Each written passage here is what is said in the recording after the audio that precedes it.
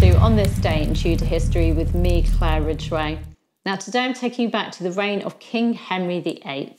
For on this day in Tudor history, the 11th of October 1532, uh, just before dawn, King Henry VIII and his sweetheart Anne Boleyn, the newly created Marquis of Pembroke, set sail from Dover on the Kent coast aboard the king's ship, the Swallow.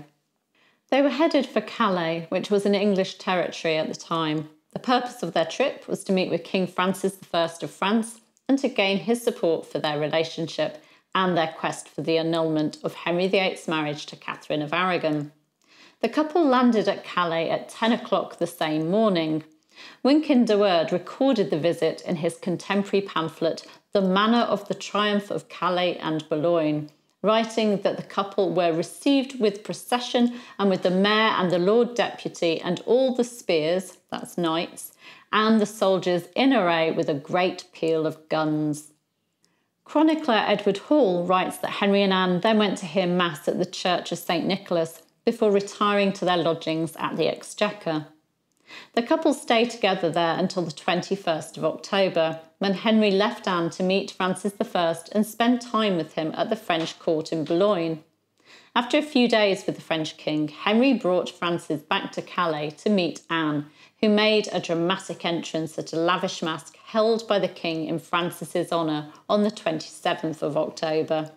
The trip was a success. Francis I was sympathetic to Henry and Anne's plight and offered to give Henry French protection against Charles V, the Holy Roman Emperor, and Catherine of Aragon's nephew. Francis was also displeased with the way the Pope was handling the situation. In a letter to the Bishop of Auxerre with instructions for him to talk to the Pope, Francis wrote, Everyone knows that it has not been usual to compel kings to come to Rome. Both the kings desire to inform the Pope more fully of their causes of complaint that he may remedy them for the future. Henry VIII and Francis I made their farewells on the 29th of October 1532, and Henry and Anne intended to leave for England immediately. However, storms and then fog delayed their departure, and the couple didn't land at Dover until early on the 14th of November 1532, St Erkenwald's Day.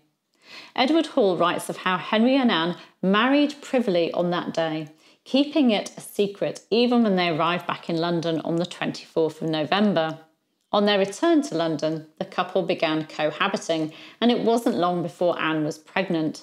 The couple had another secret ceremony at Whitehall on St Paul's Day, the 25th of January 1533, and their first child, a daughter, the future Elizabeth I, was born on the 7th of September 1533.